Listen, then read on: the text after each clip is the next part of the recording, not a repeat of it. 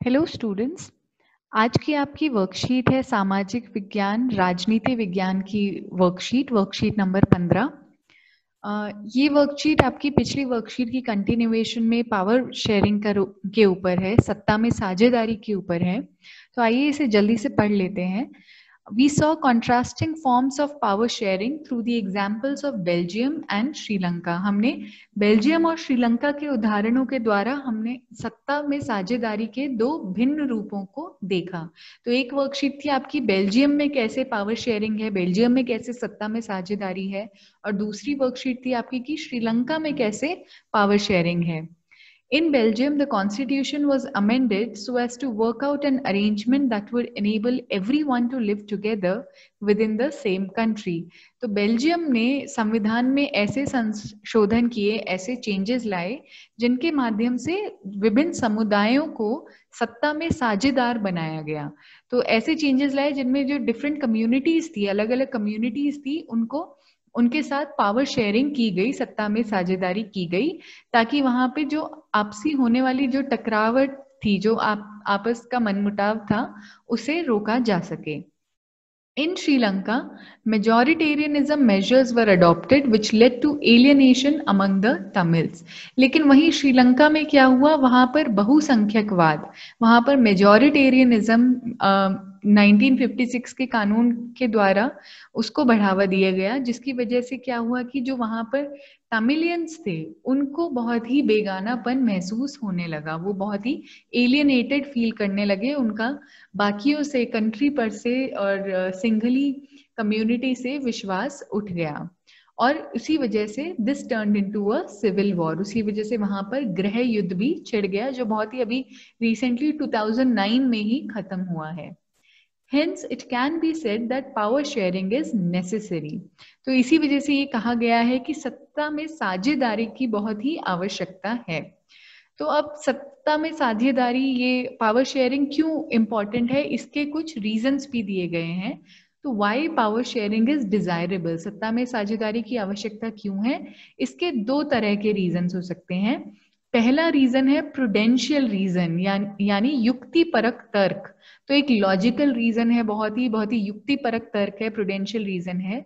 वो कौन से रीजन हो सकते हैं? पहला it helps to reduce the possibility of conflict between social groups तो सत्ता में साझेदारी इसलिए होनी चाहिए क्योंकि इसकी वजह से विभिन्न सामाजिक समूहों के मध्य आपसी टकराव कम हो जाते हैं। तो जो डिफरेंट कम्युनिटीज होती हैं एक कंट्री में पावर शेयरिंग अगर वहाँ पर होती है तो उनके जो आपस के कॉन्फ्लिक्ट सिचुएशन है, उनके आपस का जो टकराव है, वो कम हो जाते हैं। तो ये एक प्रोडेंशियल रीजन है, ये एक युक्ति परक तर्क है। और दूसरा प्रोडेंशियल रीजन है it ensures the stability of political system तो ये जो सत्ता में साझेदारी है, वो राजनीतिक व्यवस्था को स्थायित्व प्रदान करती है। बहुत ही स्टेबिलिटी आ जाती है एक कंट्री में, उसके पॉलिटिकल सिस्टम में, क्योंकि आपस में लड़ाई झगड़ा नहीं होता। सबको अपनी ड्यूटीज़ अपनी रिस्पॉन्सिबिलिटीज पता होती हैं। सबको पता होता है कि उनके अधिकार क्या है और उनका अधिकारों का दायरा क्या है। तो आपस में झगड़े नहीं होते कॉन्फ्लिक्ट नहीं होते। और ये म्यूचुअल कंसेंसस पर आपसी स्वीकारी, स्वीकार होने के बाद ही ये डिसाइड होता है कि कौन क्या करेगा। तो इस वजह से जो पॉलिटिकल सिस्टम है, जो राजनीतिक व्यवस्था है, उसमें बहुत ही स्टेबिलिटी आती है, एक स्थायित्व आता है। तो ये दो तो थे प्रोडेंशियल रीजंस युक्ति परक तर्क। अब इसके मॉरल रीजंस भी हैं कि पावर शेयरिंग इंपॉर्टेंट क्यों है। तो इसके नैतिक तर्क कुछ इस तरह से हैं। It is the very spirit of democracy तो सत्ता में साझेदारी जो है वो लोकतंत्र की आत्मा है तो अगर हम कहते हैं कि ये कंट्री डेमोक्रेसी है, उसका मतलब ही ये बन जाता है कि सबका इक्वल रिप्रेजेंटेशन होगा और सब सब में सत्ता बांटी जाएगी, सब में सत्ता का बंटवारा होगा और पावर शेयरिंग होगी तो it's the very spirit of very representation of democracy. Second इसका मॉरल रीजन है it provides the legitimacy of the government सरकार को वैधता प्र, प्रदान करता है तो गवर्नमेंट का एक मीनिंग बन जाता है तो ये एक मॉरल रीजन भी है जब पावर शेयरिंग होती है तो हर गवर्नमेंट को कुछ एक अधिकार मिलते हैं कुछ एक रिस्पॉन्सिबिलिटीज मिलती है कुछ पावर मिलती है तो उस वजह से गवर्नमेंट को वैधता मिलती है एक लेजिटिमेसी मिलती है गवर्नमेंट को तो ये रीजंस हैं जिनकी वजह से सत्ता में साझेदारी की आवश्यकता है। अब आगे चलते हैं फॉर्म्स ऑफ़ पावर शेयरिंग तो पावर शेयरिंग किन किन तरीकों की है, वो देख लेते हैं।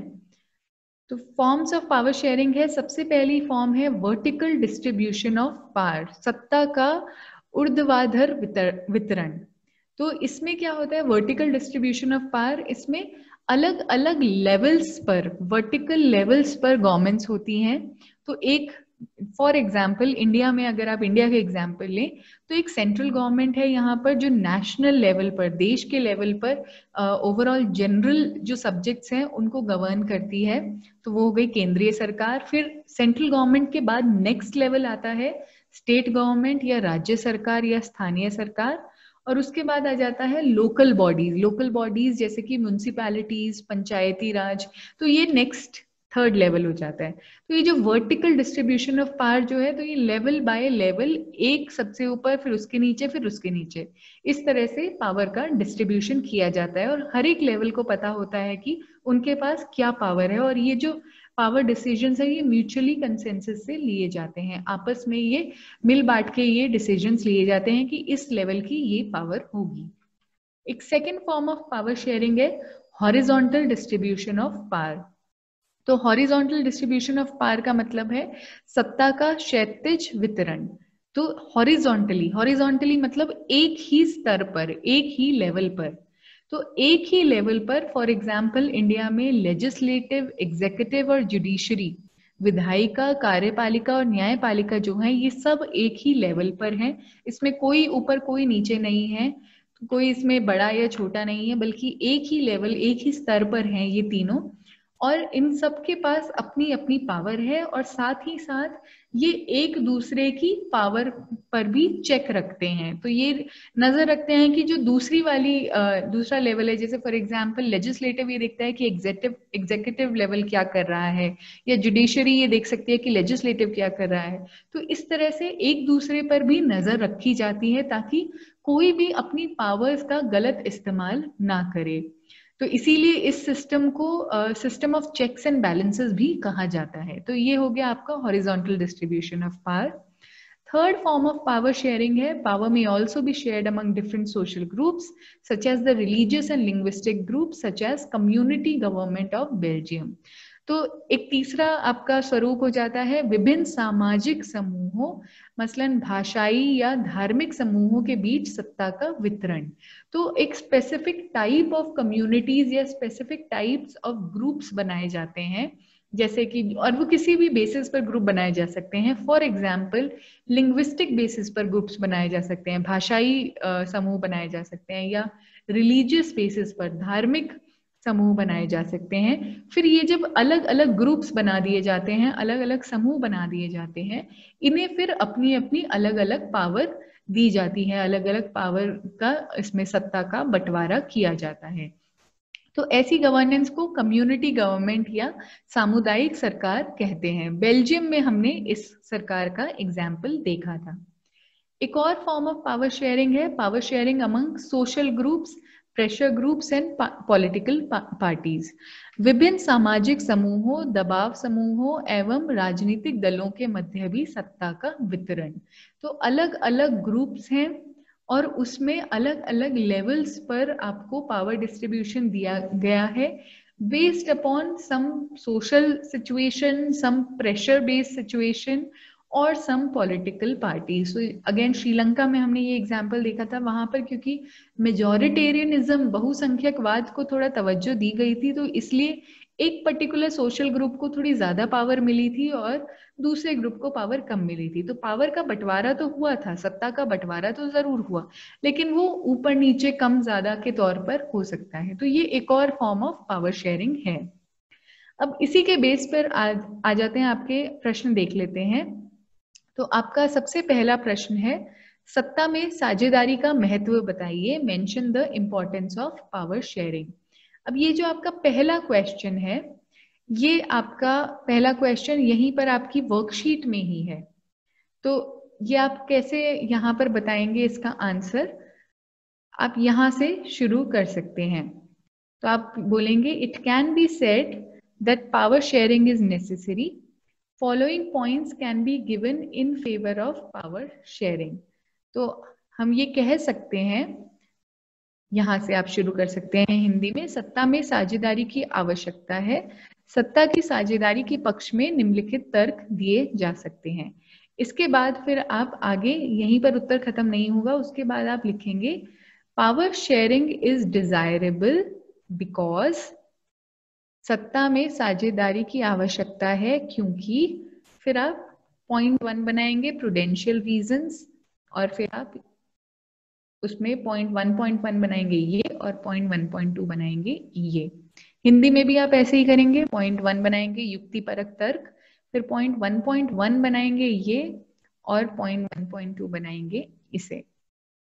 उसके बाद फिर आप लिखेंगे मॉरल रीजन ये आपका बनेगा सेकेंड पॉइंट और ये बनेगा पॉइंट टू पॉइंट वन और ये बनेगा पॉइंट टू पॉइंट टू फिर आप इसी तरह हिंदी में भी लिखेंगे, ये पॉइंट टू और ये बनेगा टू पॉइंट वन और ये बनेगा टू पॉइंट टू तो ऐसे करके आप अपना क्वेश्चन फ़र्स्ट का आंसर लिख सकते हैं. चलिए प्रश्न दो पर चलते हैं. प्रश्न दो आ जाता है आपका. Explain the vertical distribution of power सत्ता के ऊर्ध्वाधर वितरण की व्याख्या कीजिए। तो अभी हमने आपको वीडियो में बताया था कि वर्टिकल डिस्ट्रीब्यूशन ऑफ़ पावर क्या होता है। तो अगर आपको समझना है तो आप फिर से वीडियो देख सकते हैं। हम आपको इस प्रश्न का सैंपल आंसर भी दे देते हैं। फिर चलते हैं क्वेश्चन थ्री की तरफ़। Explain the horizontal distribution of power सत्ता के क्षैतिज वितरण की व्याख्या कीजिए। अगेन इस प्रश्न का उत्तर भी हमने आपको वीडियो की शुरुआत में अभी समझाया था। इसका भी आंसर हम सैंपल आंसर के तौर पर अभी आपको दिखा देते हैं। फोर्थ है आपका what are the forms of power sharing that are followed in India explain with examples Bharat में सत्ता की साझेदारी के कौन कौन से रूप अपनाए जाते हैं और आपको इनका उदाहरण भी देना है। तो आपको हम इसका उत्तर दे देती हूँ मैं जल्दी से, साथ ही साथ आप सैंपल आंसर भी ज़रूर देखिएगा। तो भारत में actually vertical distribution of power और हॉरिजॉन्टल डिस्ट्रीब्यूशन ऑफ़ पावर दोनों ही है। तो भारत में सत्ता का ऊर्ध्वाधर वितरण और क्षैतिज वितरण दोनों ही है। जैसे कि भारत में सेंट्रल गवर्नमेंट भी है स्टेट गवर्नमेंट भी है और पंचायती राज और म्यूनसिपैलिटीज भी हैं। साथ ही साथ यहाँ पर हॉरिजॉन्टल डिस्ट्रीब्यूशन ऑफ़ पावर यहाँ पर लेजिस्लेटिव यानी विधायिका एग्जीक्यूटिव यानी कार्यपालिका और जुडिशरी यानी न्यायपालिका। तो ये तीनों लेवल्स भी हैं। उम्मीद करते हैं आपको ये वर्कशीट समझ आ गई होगी। अगर आपको कोई भी डाउट है तो आप ज़रूर हमसे कमेंट सेक्शन में पूछिए। इसके बाद अब हम आगे चलते हैं आपकी इंग्लिश की वर्कशीट पर।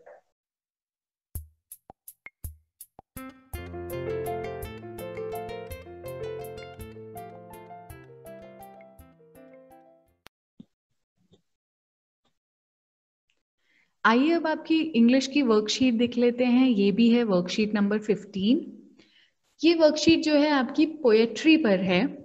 तो ये जरा पढ़ लेते हैं। Let us talk about poetry you must have read many poems in your language classes till now but do you know what is poetry there are different definitions of poetry given by different people. Let us see what the great writers and thinkers had to say about poetry. तो इस worksheet में आपसे कहा गया है कि आपने अभी तक ज़रूर अपनी लैंग्वेज क्लासेस में बहुत सारी पोएम्स पढ़ी होगी। इनफैक्ट आई एम श्योर कि आप बचपन से ही बहुत सारी पोएम सुनते आ रहे होंगे। लेकिन क्या आपको पता है कि पोएट्री एक्चुअली में होता क्या है? तो इस वर्कशीट में ये कोशिश की गई है, इस क्वेश्चन का आंसर करने की कोशिश की गई है कि पोएट्री क्या है। तो उसके लिए आपको यहाँ पर पोएट्री की अलग अलग डेफिनेशंस दिखाई गई हैं, जो अलग अलग ग्रेट राइटर्स और थिंकर्स ने लिखी हैं। तो जैसे कि शुरुआत करते हैं एरिस्टोटल से। एरिस्टोटल एक बहुत बड़े फिलोसोफर थे, ये ग्रीस में रहने वाले थे और इन्होंने फिलोसफी की शुरुआत की थी। शुरुआत नहीं की थी, मैं बोलूँगी ये फिलोसफी के बहुत बड़े स्टूडेंट रहे हैं। तो एरिस्टोटल ने कहा है कि poetry is anything which has rhythm language and harmony तो अगर किसी आ, किसी रिटर्न पीस में रिदम है एक एक म्यूजिकल क्वालिटी है उसकी जो लैंग्वेज है वो इस तरह की लिखी गई है जिसमें जिसमें बहुत ही सोच विचार करके वो वर्ड्स यूज़ किए गए हैं सच दैट की एक हारमोनी है तो एक सेंस बनता है। तो जब हम उसको पढ़ते हैं तो उसका आपस में एक पीसफुल हार्मनी बनती है कनेक्शन बनता है एक म्यूजिकलिटी आती है तो वो पोएट्री है। वहीं शेक्सपियर एक बहुत बड़े प्ले राइट बहुत बड़े राइटर उन्होंने कहा है कि poetry is actually kind of a couplet couplet होता है दो lines two lines together two lines poetry that usually rhyme तो दो लाइन की पोएट्री जिसमें जो दो लाइन्स है वो यूजली एंड के जो उसकी साउंड्स होती हैं वो राइम करती हैं मतलब कि वो सिमिलर साउंडिंग होते हैं जो उनके एंड्स होते हैं। फिर वर्ड्सवर्थ एक बहुत बड़े रोमांटिक uh, पोएट रहे हैं उनके हिसाब से poetry is spontaneous overflow of powerful emotions recollected in tranquillity तो उसका उनके हिसाब से पोएट्री स्पॉन्टेनियस ओवरफ्लो है। स्पॉन्टेनियस मतलब ऐसा नहीं कि आप प्लान करके आप पोएट्री लिखने बैठे हैं कि आज तो मैं एक पोएम लिख कर ही छोड़ूँगा, ऐसा नहीं है। वो स्पॉन्टेनियसली है, आपके अंदर से आती है, आपका बहुत मन करता है अपने इमोशंस को पावरफुल इमोशंस को। तो बहुत बहुत पावरफुली आप कुछ फील कर रहे होते हैं तो आपको बस मन करता है उसे कागज़ पर उतार देने का और आप अचानक से बस वो कहते चले जाते हैं। वो स्पॉन्टेनिटी जो है तो वो वर्ड्स वर्ड्स बोलते हैं कि वो पोएट्री है, एक spontaneous overflow of powerful emotions recollected in tranquillity तो आप जब बैठे होते हैं, आप बहुत ही अच्छे मन के साथ आप उसे रिकलेक्ट करते हैं, आप उसे याद करते हैं और उन पावरफुल इमोशंस को एक्सप्रेस कर देते हैं। वहीं जॉन कीट्स कीट्स भी एक बहुत फ़ेमस पोएट थे। उन्होंने कहा है कि poetry is a sensual imagery तो आप सेंसेस से जो इमेजिन कर पाए ऐसी पोएट्री ऐसी ऐसे वर्ड्स जो आपको इमेजिन करवा पाए डिफरेंट सेंसेस के थ्रू कि आपने क्या देखा, आपने क्या सुना, आपने क्या महसूस किया, आपको क्या स्मेल्स आई? तो इस तरह की अगर सेंशल इमेजरी क्रिएट हो जाती है तो कीट्स के हिसाब से वो पोएट्री है। वहीं टी एस इलियट एक और पोएट है, उन्होंने कहा है poetry is not turning loose of emotions but an escape from emotions तो टी एस इलियट के हिसाब से। पोएट्री ऐसा नहीं है कि आपने बस अपने इमोशंस को, अपनी भावनाओं को, अपनी फीलिंग्स को बट बस बहने दिया। बल्कि वो एक एस्केप फ्रॉम इमोशंस है। जब कुछ इमोशंस को आप फेस नहीं करना चाहते, कुछ ऐसे इमोशंस होते हैं, कुछ नेगेटिव इमोशंस होते हैं जिनको आप अपनाना नहीं चाहते वही पोएट्री वो मीडियम बनता है पोएट्री वो माध्यम बनता है जिसके ज़रिए आप उन इमोशन से एस्केप कर पाते हैं, आप उन इमोशन से, उन भावनाओं से बच पाते हैं। It is not the expression of personality but an escape from personality तो ज़रूरी नहीं है कि पोएट्री टी एस एलियट के हिसाब से कि वो एक्सप्रेशन ऑफ़ पर्सनैलिटी है। माना कि अगर मैं बहुत ही हैप्पी पोएम लिख रही हूँ तो उसका मतलब ये नहीं है कि मैं बहुत ही खुश मिजाज इंसान हूँ। बल्कि ऐसा हो सकता है कि इन रियलिटी मैं बहुत ही सैड या बहुत ही इंट्रोवर्ट पर्सनैलिटी हूँ, लेकिन जब मैं अपनी पोएट्री में एक बहुत ही हैप्पीनेस से भरी हुई इमोशंस लेकर आती हूँ तो मैं अपनी एक एक इंट्रोवर्ट पर्सनैलिटी से एस्केप लेते हुए एक्सट्रोवर्ट बनने की कोशिश करती हूँ, खुश मिजाज बनने की कोशिश करती हूँ। सो पोएट्री इलियट के हिसाब से एक एस्केप फ्रॉम पर्सनैलिटी है। वहीं लास्ट डेफिनेशन आपको दी गई है इंसाइक्लोपीडिया ब्रिटानिका से। उसके हिसाब से, इस इंसाइक्लोपीडिया के हिसाब से poetry is a type of literature और artistic writing that attempts to stir a reader's imagination or emotion. तो फ़र्स्ट ये एक टाइप ऑफ़ लिटरेचर है, या एक आर्टिस्टिक राइटिंग है, जिसकी वजह से जो पढ़ने वाला है उसको, उसकी इमेजिनेशन स्टरअप होती है मतलब उसकी नई इमेजिनेशन बनने लगती है और नए इमोशंस नई भावनाएँ वो फील करने लगता है। The poet does it carefully by choosing and arranging language for its meaning sound and rhythm तो पोएट जो है, जो पोएट्री लिखने वाला है, वो ये कैसे करता है? ऐसे कैसे पॉसिबल होता है कि अगर कोई रीडर पोएट्री पढ़ रहा है तो वो पढ़ के ही वो चीज़ें इमेजिन करने लगे या वो भावनाएँ, वो इमोशंस महसूस करने लगे? वो ऐसे पॉसिबल होता है कि जो पोएट है, वो बहुत ही केयरफुली ऐसे शब्द चुनता है, ऐसे वर्ड्स चूज़ करता है और उन वर्ड्स को, उस लैंग्वेज को, उस भाषा को इस तरह से लिखता है, इस तरह से अरेंजमेंट करता है उसका कि उसका जो मतलब है, उसका जो मीनिंग है, उसकी जो साउंड्स हैं, उसकी जो रिदम है वो इस तरह से निकल कर आए कि रीडर अपने आप ही उन इमोशंस को, उस इमेजिनेशंस को, उन भावनाओं को वो इमेजिन कर पाए। Some poems such as nursery rhymes are simple and humorous तो कुछ जो पोएम्स होती हैं, वो ज़रूरी नहीं है कि हर पोएम बहुत ही इंटेंस हो। कुछ पोएम जो होती हैं, वो बहुत सिंपल होती हैं, बहुत फनी भी होती हैं ह्यूमरस भी होती हैं फॉर एग्ज़ाम्पल नर्सरी राइम्स तो उम्मीद करते हैं आपको पोएट्री क्या होती है, वो समझ आ गई हो। अब इसी के बेसिस पर आपको एक पोयम दी गई है आपकी टेक्स्ट बुक से। बहुत ही छोटी सी पोयम है फायर एंड आइस ये पोयम लिखी गई है रॉबर्ट फ्रॉस्ट के द्वारा। रॉबर्ट फ्रॉस्ट ने बहुत ही प्यारी सी पोयम लिखी है। जल्दी से इसे पढ़ लेते हैं। Some say the world will end in fire some say in ice from what I have tasted of desire I hold with those who favour fire but if it had to perish twice I think I know enough of hate to say that for destruction, ice is also great and would suffice. तो यहाँ पर Robert Frost क्या कहना चाह रहे हैं वो कह रहे हैं कि दुनिया में कुछ लोग कहते हैं कि जब हमारी दुनिया खत्म होगी तो वो आग में बदल जाएगी सब कुछ जलकर राख हो जाएगा। वहीं कुछ लोग कहते हैं कि जब दुनिया खत्म होगी तो सब कुछ बिल्कुल जम जाएगा, सब बिल्कुल आइस की तरह जम जाएगा। लेकिन रॉबर्ट फ्रॉस्ट ये कहते हैं कि अगर मैंने अपनी अपनी ज़िंदगी की तरफ़ देखूँ और अगर मैं कहूँ कि मैंने अपनी ज़िंदगी में जब डिज़ायर जब इच्छा, जो इच्छाएँ हैं, उसको मैंने अगर सच में टेस्ट किया है तो मैं कह सकता हूँ कि मैं उन लोगों का साथ दूँगा जो कहते हैं कि ये दुनिया जो है जलकर राख हो जाएगी, क्योंकि मैं भी अपनी इच्छाओं में जला हूँ। और मैंने जलना कैसा होता है और जल जल कर मरना कैसा होता है वो मैंने फील किया है। तो इसीलिए मैं कहूँगा कि हाँ ये दुनिया भी जलकर राख हो जाएगी और तभी खत्म हो जाएगी। लेकिन साथ ही साथ वो बोलते हैं if it had to perish twice लेकिन अगर दुनिया को दो बार खत्म होना होता, एक बार नहीं, अगर दो बार खत्म होना होता तो मैं साथ ही साथ ये भी कहूँगा कि मैंने अपने जीवन में इतनी नफरत देखी है, मैंने इतनी हेट देखी है कि मैं ये भी कह सकता हूँ कि अगर दुनिया को खत्म होना हुआ तो आइस में तब्दील होना, दुनिया का पूरा इतना कठोर दिन, दिल हो जाना कि सब कुछ जम जाए, वो भी उतना ही वैलिड है, वो भी उतना ही पॉसिबल है जितना दुनिया का जलकर खत्म हो जाना पॉसिबल है। और बस यही मेरा यही मेरा आर्ग्यूमेंट है एंड वुड सफाइस तो मैं यही कहकर एंड करना चाहूँगा।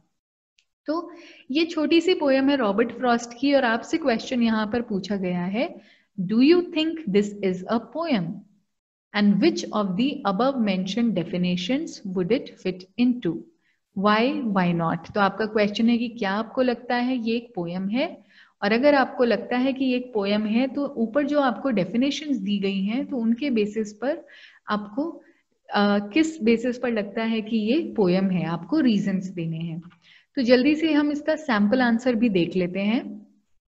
तो हमने यहाँ पर सैंपल आंसर में लिखा है Fire and Ice is definitely a poem, that too a beautiful one by Robert Frost. तो Fire and Ice हमारी हिसाब से एक ज़रूर एक पोएम है और सिर्फ पोएम ही नहीं ये बहुत ही सुंदर पोएम लिखी गई है रॉबर्ट फ्रॉस्ट के द्वारा It fits clearly into Aristotle's definition as it has a rhythm to it with similar sounding word endings of fire, desire, ice, twice, etc. And the way language is used and the harmonious tone it has makes it poetic तो पहली definition जिसमें ये fit होती है, ये poem वो है Aristo Aristotle की डेफिनेशन तो एरिस्टोटल कहते हैं कि पोएम तभी पोएम है जब वो उसमें एक रिदम हो. तो इस पोएम में भी रिदम है क्यों? क्योंकि इसमें जो वर्ड एंडिंग्स यूज़ की गई हैं, वो बहुत ही सिमिलर साउंडिंग है. उनके जो वर्ड एंड जहाँ पर हो रहे हैं, उनकी बहुत सिमिलर से साउंड है. जैसे कि फायर डिज़ायर आइस ट्वाइस तो ये कुछ एग्जाम्पल्स है जिनके बेसिस पे हम कह सकते हैं कि इनमें, इस पोएम में एक रिदम है। वहीं जो लैंग्वेज यूज़ की गई है और जो उसका हारमोनियस सा एक टोन है, एक मेलेडी जो है, वो भी इस पोएम को पोएटिक बनाती है।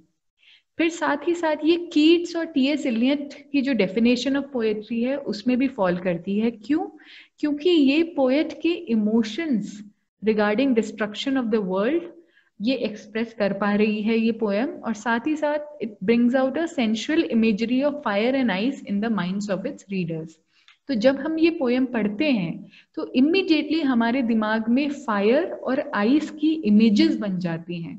तो फायर में कैसे जलना, कैसा फील होता है, हम वो फील कर पाते हैं। आइस के साथ जमना कैसा फील होता है, हम वो सेंसेस के थ्रू हम वो फील कर पा रहे हैं जब भी हम इसको पढ़ते हैं तो। Finally it clearly exemplifies Britannica encyclopedia's definition as it is capable of stirring our imagination and emotions with its carefully chosen and arranged language for its meaning, sound and rhythm.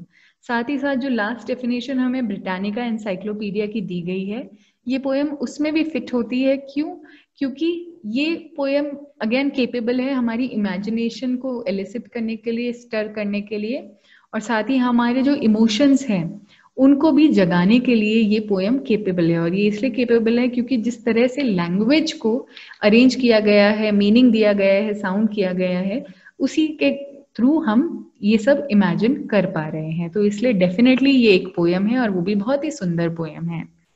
उम्मीद करते हैं आपको ये वर्कशीट अच्छे से समझ आ गई होगी। कोई भी आपको डाउट है तो ज़रूर कमेंट सेक्शन में पूछिए। इस चैनल को लाइक और सब्सक्राइब भी कीजिए और नोटिफिकेशन बेल आइकन दबाइए ताकि आपको इमीडिएट नोटिफिकेशन मिल जाए वर्कशीट्स की। आज के लिए इतना ही है। Thank you